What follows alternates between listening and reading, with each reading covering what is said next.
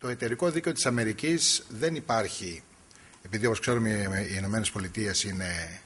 ε, federal, έχουμε δηλαδή την Ομοσπονδιακή Κυβέρνηση και τις επιμέρους πολιτείες, ε,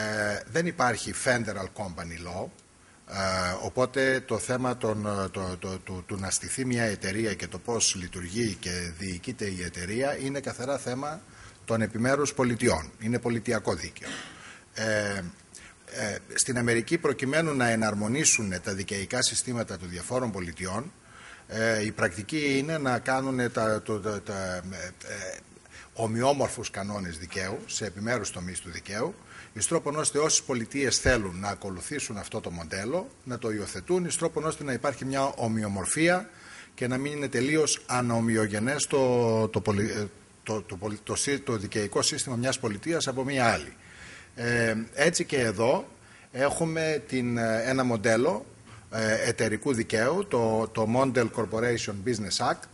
το οποίο έχει υιοθετηθεί από πάρα πολλές πολιτείες. Ε, και βέβαια στη συνέχεια έχουμε και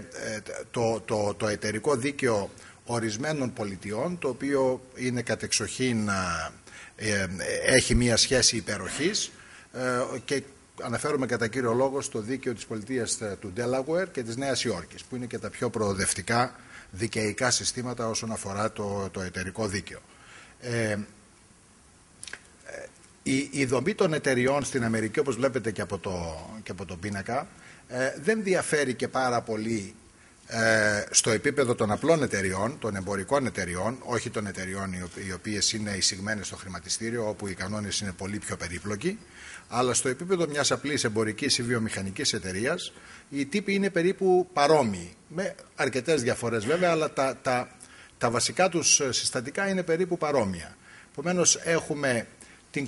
το corporation, το οποίο στα ελληνικά θα λέγαμε ότι είναι η ανώνυμη εταιρεία, ε, έχουμε στη συνέχεια το General και το Limited Partnership που στα ελληνικά θα λέγαμε ότι είναι η ομόρυθμος και η ετερόρυθμος εταιρεία. Ε, έχουμε το Limited Liability Company που είναι κάτι αντίστοιχο με τη δική μας ΕΠΕ.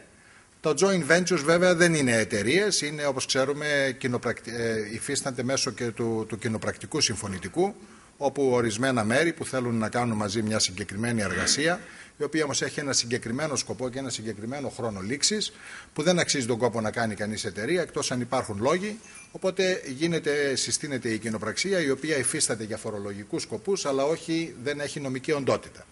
Ε, και όπως είπε και ο προηγούμενος ομιλητής, τα, τα, τα υποκαταστήματα ε, ε, αλλοδαπών εταιριών που επιλέγουν την μέθοδο, ίσως σε ένα πρώτο στάδιο, του αντί να κάνουν μια εταιρεία στην Αμερική, να, να, να εγκαταστήσουν ένα υποκατάστημα. Ε, ε, αν πάμε στην πρώτη μορφή, η οποία είναι και η επικρατέστερη για, τη, για τις μεγάλες επιχειρήσεις, το corporation, η ανώνυμος εταιρεία, εκεί ε, το, το, το, το πολιτιακό σύστημα το οποίο υπερέχει, σαφώς, είναι το και να πάμε στο επόμενο, είναι το δίκαιο ε, της πολιτείας του Delaware, το οποίο είναι το πιο προηγμένο εταιρικό δίκαιο στην Αμερική. Ε, ε, είναι ε, η Delaware και για τους λόγους που είπε πριν ο μιλητής κάποιες άλλες πολιτείες οι οποίες δεν δέχονται να εφαρμόσουν τις διμερείς συμβάσεις αποφυγής φορολογίας οπότε είναι ένα σοβαρό μειονέκτημα. Αλλά πέραν του ότι το Delaware δεν έχει αυτή την πρακτική ε, ενδείκνεται και ως τόπος εγκατάστασης εταιριών ε, διότι το, το δικαιικό σύστημα είναι πολύ απλοποιημένο και δίνει μεγάλη, μεγάλο flexibility, μεγάλη δηλαδή ελευθερία κινήσεων στους μετόχους, το πώς να ιδρύσουν και να διοικήσουν την εταιρεία τους. Ε, και επίσης το ίδιο το τμήμα των εταιριών στην, στην τοπική κυβέρνηση, την πολιτιακή κυβέρνηση, είναι άρτια εξοπλισμένο και εκπαιδευμένο με online services, οπότε είναι μια, μια καλή αρχή το να κάνει κάποιος την εταιρεία του στο Delaware και στη συνέχεια εφόσον θέλει να, να επεκτείνει τις δραστηριότητες του και σε άλλες πολιτείες, δηλαδή αυτό που λέμε στα αγγλικά interstate commerce, ε, είναι μια απλή διαδικασία που κάνει ένα qualification form στην άλλη πολιτεία που ενδιαφέρεται να πάει και παίρνει μια τυπική έγκριση, ένα permission, στρόπον ώστε να μπορεί να επεκτείνει τις δραστηριότητες του και σε άλλες ε, πολιτείες. Ενδεικτικά να σας πω από μια έρευνα που έκανα πρόσφατα, ε, υπάρχουν στην, στο Delaware περίπου πάνω από 850.000 εταιρείες συναισθημένες αμερικάνικες και ξένες. Ε, ενδεικτικά και πάλι πάνω από το 50% των εισηγμένων εταιριών στην Αμερική είναι στο Delaware.